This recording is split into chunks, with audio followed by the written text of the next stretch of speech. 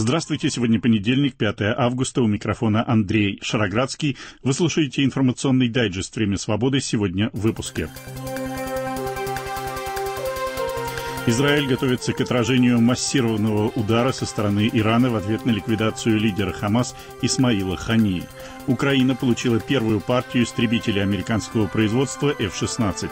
Почему при состоявшемся в конце прошлой недели обмене заключенными на свободу не вышел ни один политический заключенный из Беларуси? Также сегодня. Гражданская резня – позор нашей Родины. Фашизм – смерть нашей Родины. Путин – фашист. Долой войну в Украине. Долой фашистский путинский режим. Свободу всем политическим заключенным. Свободу вообще всем заключенным. В СИЗО в Биробиджане в результате сухой голодовки умер пианист Павел Кушнир, публиковавший антивоенные видеоролики.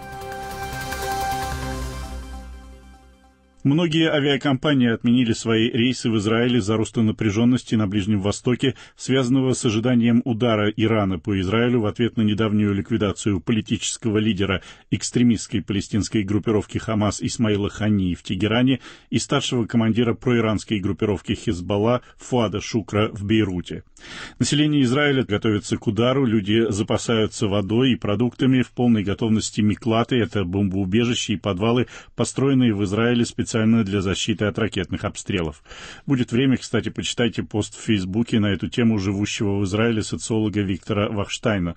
Очень ироничное, но точное наблюдение, на мой взгляд. Ну а международные средства массовой информации цитируют утечки о телефонном разговоре президента США Джо Байдена и премьер-министра Израиля Бенемина Нетаньяху, в котором Байден, согласно этим утечкам, довольно резко дал понять Нетаньяху, что крайне недоволен действиями и самого Нетаньяху, и израильского правительства правительства в целом. На публике, отвечая на вопрос, как повлияла ликвидация Хании на переговоры о прекращении огня в Газе и освобождении заложников, Байден сказал так – она не помогла. Мой собеседник – обозреватель Deutsche Welle, востоковед Константин фон Эгерт. После ликвидации Исмаила Хании можно ли говорить, что в Израиле просто считают неизбежным ответный массированный удар со стороны Ирана или проиранских группировок? В общем-то, в Израиле готовы к такому развитию событий. Другое дело, что тип вот этого ответа иранского, прежде всего, пока не ясен. И будет ли это снова ракетная атака, которую мы наблюдали там некоторое время назад после удара израильтян по консульству Ирана в Дамаске, или же это будет что-то другое. Хизбалла в своем заявлении по поводу ликвидации своего полевого командира Фуада Шукра сказала, что поскольку удар был нанесен по жилому дому, то организация считает себя вправе бить по объектам, ну, скажем так, гражданским. То есть непонятно, что это может быть. Насколько я понял, самое неприятное, то, чего израильтяне, даже просто обычные, опасаются больше всего, это то, что удар будет нанесен по просто-напросто либо посольству Израиля где-то, либо еврейскому центру какому-нибудь, не обязательно в Израиле, там, где к этому могут быть не до конца готовы. И вот это, насколько я понимаю, тоже многих в Израиле волнует. То, что ответ будет, в этом здесь не сомневается никто. А как израильтяне сами по себе относятся к тому, что Хания и полевой командир Хизбаллы были ликвидированы, и в результате ситуация обострилась? Большинство, конечно, считают, что это правильно и, несомненно, ну, по крайней мере, в краткосрочной перспективе премьер-министр Нетаньяху заработал себе определенные очки среди значительной части населения. Другое дело, что есть и голоса, которые говорят, что ликвидация руководителей террористических организаций, в общем-то, не ведет к ликвидации самих террористических организаций.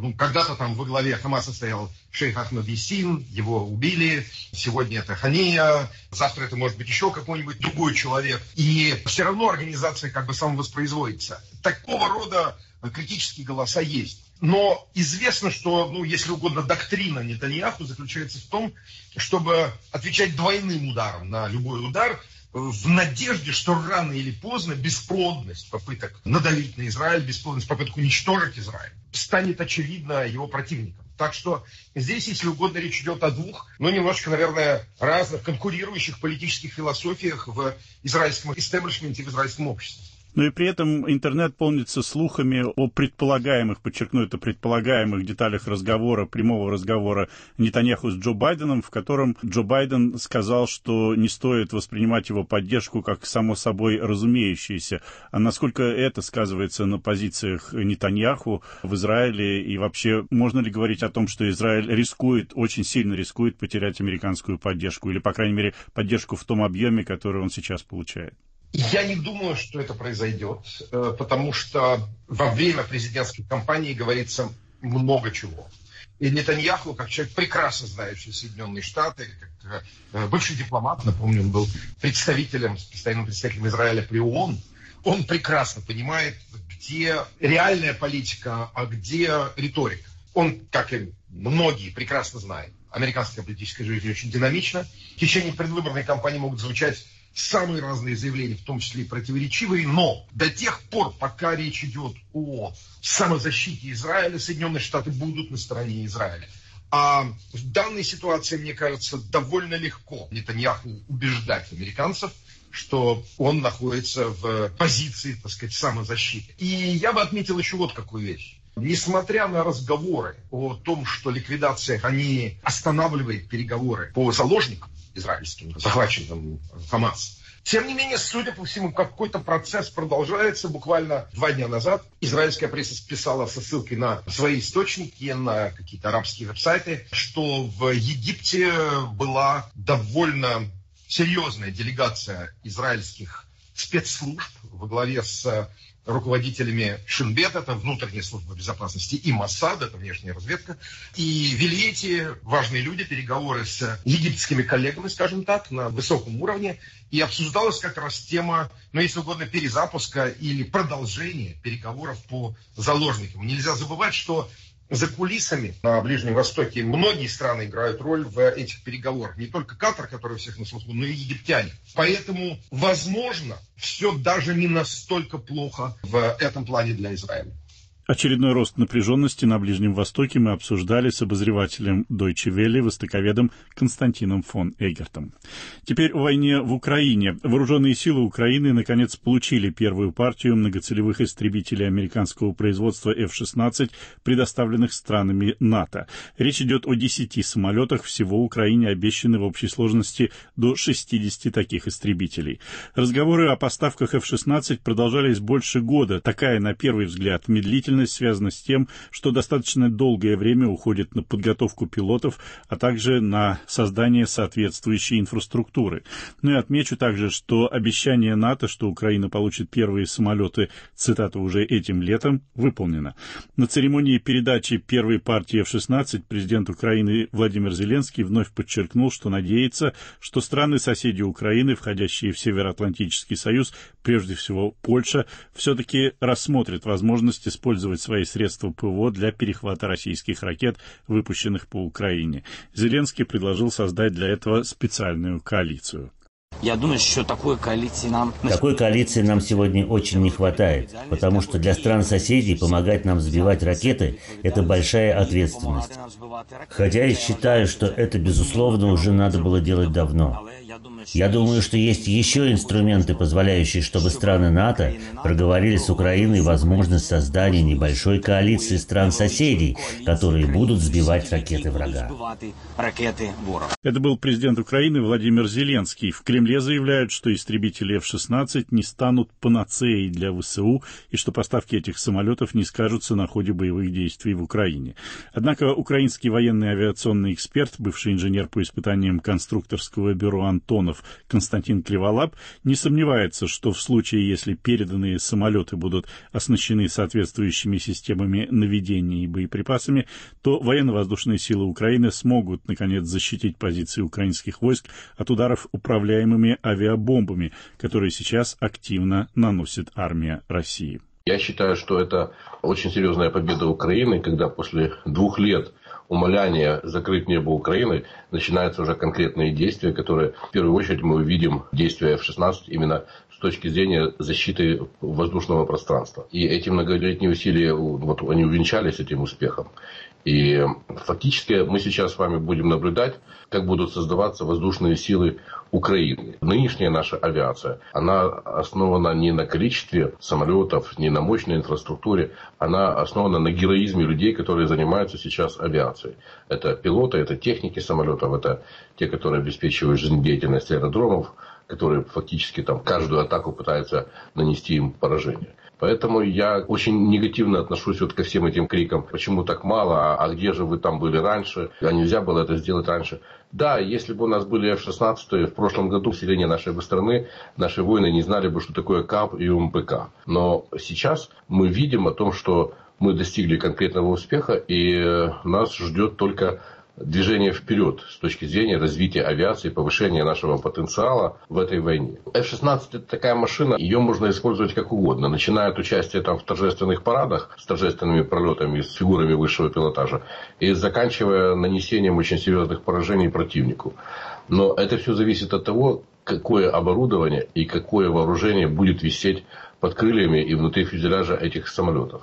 Если там будут радары большой дальности, которые будут соизмеримы с дальностью российских радаров, и ракеты, которые будут соизмеримы по возможностям с дальностью российских ракет, то за счет тактических преимуществ, тактических действий, взаимодействия с другими средствами, ну, например, ПВО на земле или ПВО, там, которое в зоне будет находиться, в зоне действия в данный момент истребителя, то тогда это будет один результат. А если это будут неподготовленные, невооруженные необорудованные самолеты, которые полетят гордо в бой, то мы, скорее всего, будем эти самолеты терять. Поэтому то, что можно сделать на линии боевого столкновения относительно Каба, оно зависит от вооружения. Если будет стоять ракета АИМ-120D с дальностью там 160-180 километров, и будут стоять радары там 80-е, я уже не говорю о 83-х радарах, то тогда Су-34 и Су-35, скорее всего, будут уходить из зоны сбрасывания капов и будут возвращаться куда-нибудь на свои аэродромы или сбрасывать их там на своей территории, как они это умеют делать. А если там будут слабенькие радары, 80-90 километров, и ракеты, которые бьют максимум 120, она, может быть, и добьет, но не сможет получить целенаведение, потому что КАП сбрасывается от линии боевого столкновения на дистанциях там 50, 60, 70 километров. А приближаться ближе нашим самолетам, чем на 40 километров, это достаточно опасно, потому что там мы уже можем входить в зону действия ПВО россиян. И если до этого это ПВО не будет уничтожено, мы очень много ПВО уничтожили, но его еще достаточно много. Если это ПВО не будет уничтожено, то тогда мы ставим наши самолеты в зону риска. Говорил украинский авиационный эксперт, бывший инженер по испытаниям конструкторского бюро «Антонов» Константин Кливолап. Это фрагмент его интервью телеканалу «Настоящее время».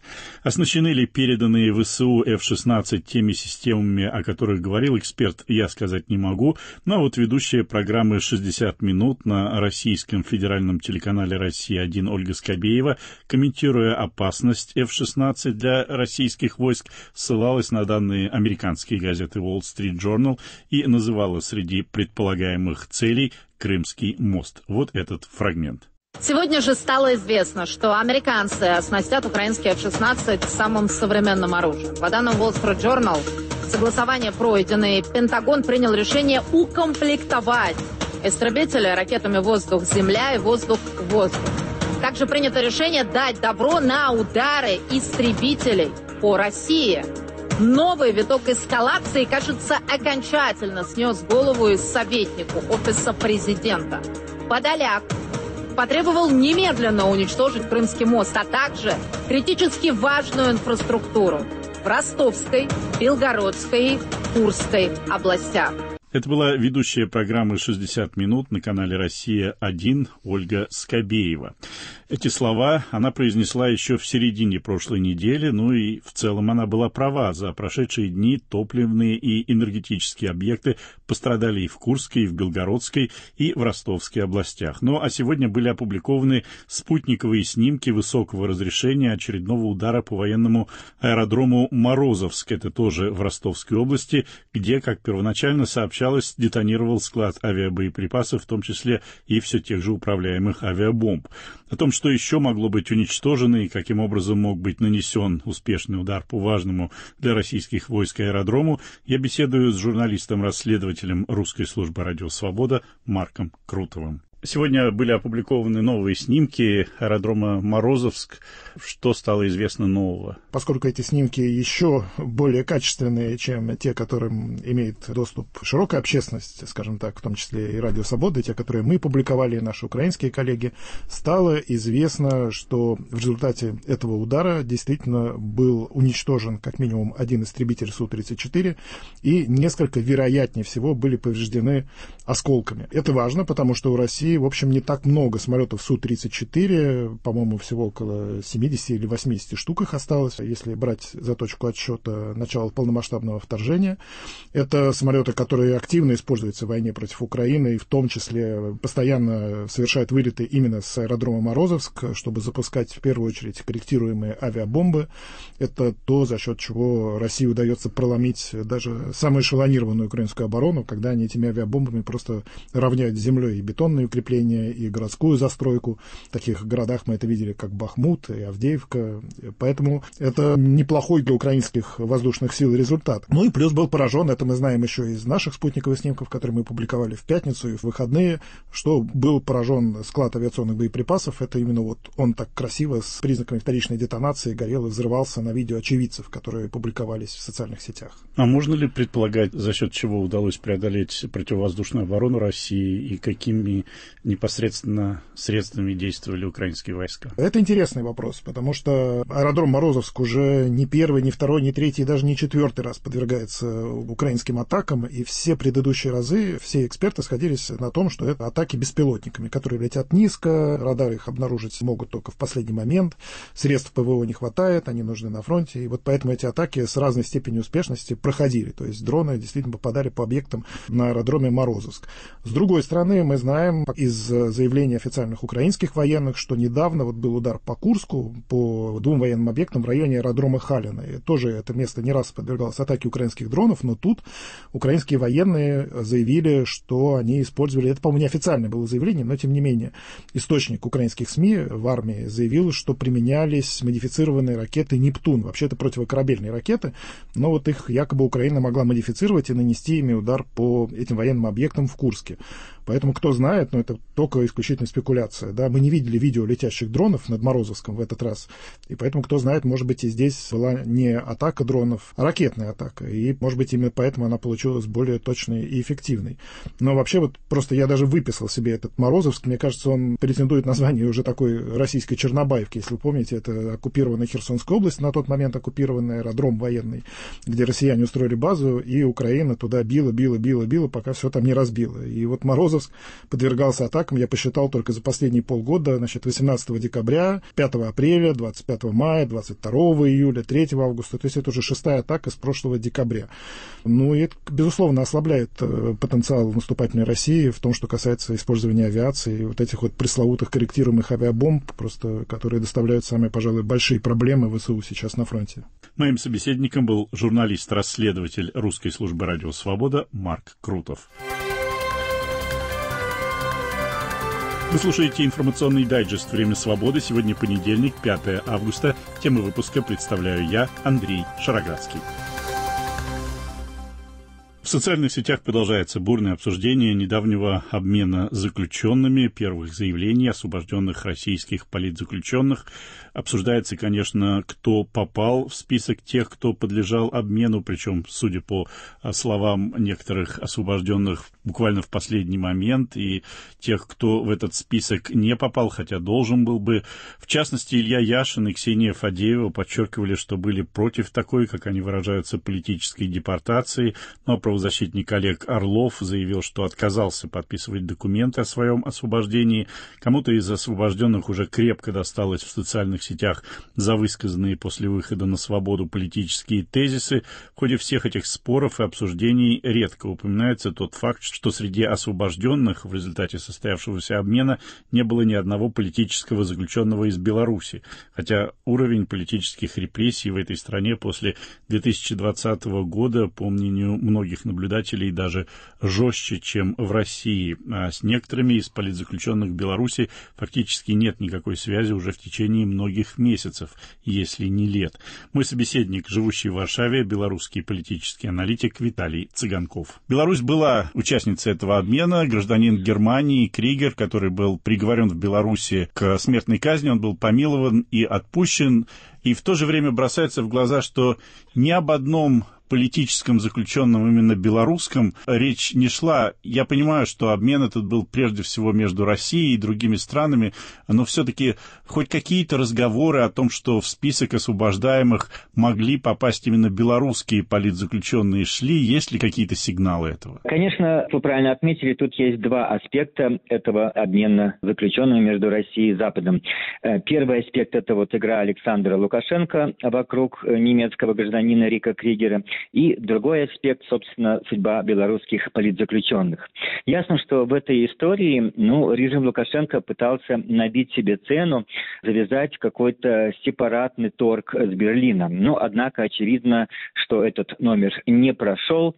Э, Берлин не отреагировал на какие-то послания Александра Лукашенко, на тот факт, что вот немецкий гражданин был приговорен к смертной казни, а Берлин решил действовать через Москву. И это было вполне показательно, потому что, ну, Кригер, очевидно, стал таким заложником белорусского режима, потому что Белпол, объединение бывших белорусских силовиков, вообще провели собственное расследование и пришли к выводу, что Кригер не совершал никакого теракта, а материалы его дела были сфальсифицированы. Видимо, конечно, он искал острых ощущений, хотел воевать, вступить в подразделение вооруженных сил Украины, но, как заявляет Белпол, это объединение белорусских силовиков, нарвался на какой-то подставной интернет интернет-аккаунт белорусских силовиков и которые дальше его вели. Ну и в результате его обвинили во взрыве железнодорожных путей, при том, что от взрыва никто не пострадал, а ущерб составил около 500 долларов.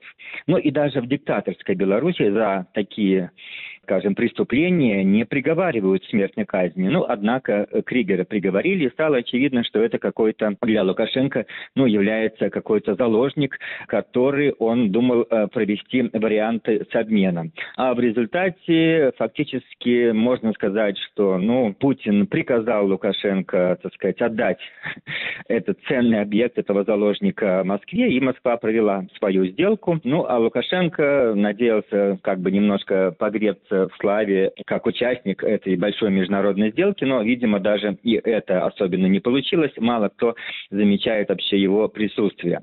Что касается белорусских политзаключенных, то, конечно, в адрес белорусских демократических лидеров Светланы Тихановской тут у белорусской общественности прозвучали такие, скажем, нотки критики и даже довольно резкая критика, потому что, мол, а где в этом сделке, почему нет белорусских политзаключенных? Но на это офис Тихановской ответил, что мы не участвовали в этих переговорах и имеем очень ограниченную информацию.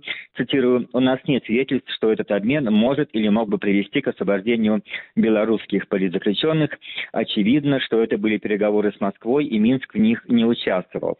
Вот говорится в заявлении офиса Светланы Тихановской. Ну и, как отмечают аналитики, ну, в общем-то, этот случай показал, что действительно белорусские политзаключенные сейчас для Запада, ну, не являются темой номер один, поскольку очевидно, что успехи есть вот э, в этой сделке между Россией и США, Германией, Россией и Западом, но каких-то успехах, каких-то сделках насчет белорусских политзаключенных пока не сообщается, нет таких данных, и несмотря на все обращения белорусских демократических сил, Светланы Тихановской, но пока не получается, кроме каких-то единичных случаев, добиться какого-то прогресса о белорусских политзаключенных. Конечно же, это вызывает большой большую критику. Белорусы многие заявляют, что нужно ставить вопрос политзаключенных прежде всего, не связывая его с какими-то санкциями, с какими-то, ну, скажем, действиями по свержению режима Лукашенко, поскольку на данный момент, как очевидно, это не слишком актуально. И поэтому стоит именно сконцентрироваться на вопросе политзаключенных. Но очевидно, что пока на фоне войны России против Украины, на фоне более глобальных проблем, но многим, к сожалению, очевидно, что белорусские политзаключенные не являются главным вопросом международной повестки дня. Скажите, а вот ведущие политзаключенные, такие как Мария Колесникова, Виктор Бубарика, они по-прежнему содержатся в этом режиме инкоммуникада? Мне сейчас встречаются появляются публикации, авторы которых вообще предполагают, что их, может быть, уже нет на свете. Ну да, ситуация такая, что действительно нет никакой связи с некоторыми из самых известных политзаключенных э, буквально не то что несколько месяцев, уже более года. Поступают какие-то отрывочные сведения из э, медзаключений, из колоний, но, как известно, э, заключенным обычным запрещено общаться с такими известными политзаключенными, как те же Бабарыка или Колесникова. И люди, которые освобождаются, именно об этом и рассказывают, но все-таки какие-то вот такие отрывочные точные данные поступают, что можно все-таки говорить о том, что они находятся в местах заключения, они живы, но вот этот бесчеловечный режим действительно инкоммуникада, который приравнивается к пыткам в соответствии со всеми международными концепциями, и он действительно проводится в отношении большинства белорусских политзаключенных. Моим собеседником был живущий в Варшаве белорусский политический аналитик Виталий Цыганков. Ну а из России в минувшие выходные пришла трагическая новость, напомнившая всем, что и после состоявшегося обмена в России ничего принципиально не изменилось. В СИЗО в Биробиджане в результате сухой голодовки умер 39-летний пианист, солист областной филармонии Павел Кушнир. В мае Павел Кушнир был арестован по обвинению в публичных призывах к осуществлению террористической деятельности за антивоенные видеоролики, которые он выложил в собственном YouTube-канале, где тогда было буквально несколько подписчиков. С первых дней войны Павел Кушнир писал антивоенные посты, распространял антивоенные листовки и устраивал домашние голодовки. Написал Павел Кушнир и свой антивоенный роман. Он называется «Русская нарезка». Это авторская антиутопия с ссылками на русскую литературу и с основной идеей обличить диктатуру государства. А вот аудиозапись с одного из видеороликов, из-за которых Павел Кушнир попал в тюрьму. Жизнь – это лишь то, чего уже никогда не будет при фашизме. Свобода, творчество, любовь, искренность, истина, трагическая красота человеческого лица, проклятие военной формы и ее содержание. Курт Кобейн, Янка Дягилева, общение любви, общение в свободе. Дух есть свобода. Иисус Христос, Сын Божий. Бучанская резня – Позор нашей Родины. Фашизм – смерть нашей Родины. Путин – фашист. Народы нашей страны отдали миллионы своих самых лучших жизней за то, чтобы фашизма никогда не было. И мы его не примем, не поклонимся зверю. Долой войну Украине. Долой фашистский путинский режим. Свободу всем политическим заключенным. Свободу вообще всем заключенным. И вообще свободу всем. Это был информационный дайджест «Время свободы». Его темы представил я, Андрей Шароградский, продюсер выпуска «Северин Южный». Наш подкаст можно найти и послушать на сайте «Радио Свобода», в телеграм-канале «Время свободы» и на популярных платформах подкастов. Ну а у меня на сегодня все. До свидания.